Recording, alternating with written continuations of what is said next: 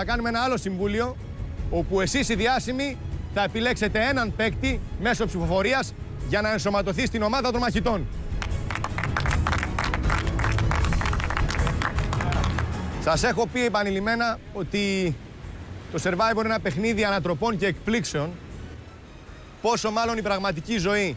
Η πραγματική ζωή είναι γεμάτη εκπλήξεις. Μία τέτοια αρνητική έκπληξη ήταν και το ατύχημα που είχαν οι μαχητές την προηγούμενη εβδομάδα.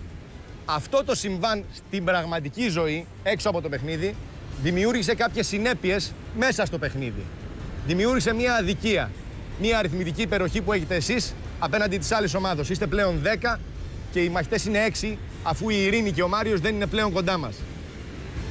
Για να διορθώσουμε αυτή την ε, αδικία, ένας από τους ε, παίκτες της δικής σας ομάδας θα ενσωματωθεί, επαναλαμβάνω, στην ομάδα των μαχητών. Έτσι, η αριθμητική αυτή περιοχή θα εξισωθεί σε ένα βαθμό και πλέον θα είστε εσείς 9 και εσείς οι μαχητές 7. Κώστα, πιστεύεις ότι αυτή η εξέλιξη είναι κάτι που θα βοηθήσει την ομάδα σου; Ε, λόγω ότι είμαστε 6 άτομα, πιστεύω ότι θα βοηθήσει πάρα πολύ.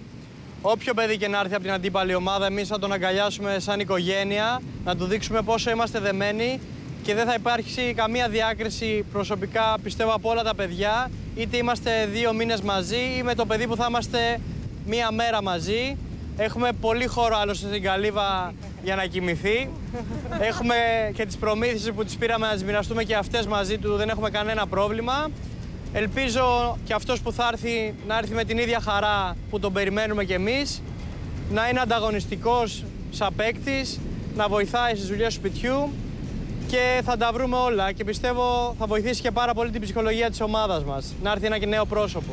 Ορέστη, δεδομένου ότι θα έρθει ένας παίκτης από την αντίπαλη ομάδα, πιστεύεις ότι έχει σημασία το ποιος ή ποια θα είναι αυτή; Όσον αφορά τα αγωνίσματα, σίγουρα έχει σχέση το ποιος παίκτης θα έρθει από την αντίπαλη ομάδα. Όσον αφορά τη συμβίωση, δηλαδή τις περισσότερες ώρες της ημέρας και το πώς περνάμε στην καλύβα μας, νομίζω και θέλω να πιστεύω ότι δεν θα έχει σχέση. Όποιος και να έρθει, ή παίκτης ή παίκτρια, εμείς θα τον αγκαλιάσουμε με την ίδια χαρά και ελπίζω να, συ- να ενσωματωθεί και να περάσει καλά και αυτός μαζί μας. Γιώργος, εσύ είχες περάσει αυτή τη διαδικασία και την πρώτη εβδομάδα του παιχνιδιού, όπου τότε οι μαχητές επέλεξαν να σε στείλουν στην αντίπαλη ομάδα.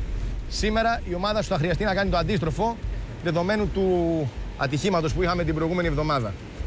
Ε, πώς το ακούς; Ε, νομίζω ότι η επιλογή κάποιου παίχτη από τη δική μας ομάδα, εφόσον αναγκαζόμαστε να πράξουμε έτσι, είναι πιο εύκολη τώρα. Γιατί την πρώτη εβδομάδα δεν γνωριζόμασταν ε, μεταξύ μας σε κανένα επίπεδο.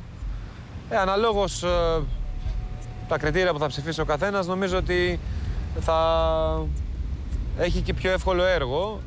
ε, γιατί γνωρίζει και τη συμβίωση στο σύνολο κάποιον από εμά και το αγωνιστικό του πρόσωπο. Πιστεύεις όμως ότι η ομάδα σου θα ψηφίσει με αγωνιστικά κριτήρια ή με κοινωνικά κριτήρια με το ποιον συμπαθούν περισσότερο οι υπόλοιποι παίκτες; Εντάξει, μπορεί να είμαστε μια ομάδα και να αγωνιζόμαστε με κοινό σκοπό, αλλά ο κάθε ένας έχει το σκεπτικό του και την προσωπικότητά του. Από εκεί και πέρα δεν μπορώ να γνωρίζω. Εγώ θα αποφασίσω συμπεριλαμβανομένο και τα δύο. Ευρυδίκη, είναι ένα νέο δεδομένο, όπως πολλά νέα δεδομένα που έχετε ακούσει τον ε, τελευταίο καιρό. Πώς το βλέπεις; Θα είναι δύσκολο, αλλά θεωρώ παράλληλα ότι είναι και δίκαιο